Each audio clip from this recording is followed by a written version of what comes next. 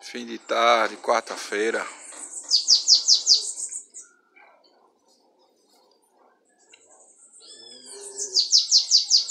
Pequenino na voz.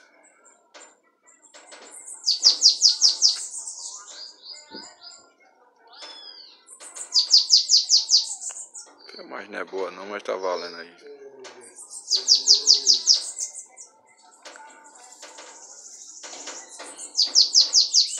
É só para não ser remover daí, ó, do grupo. Tô por cá e tô afoito.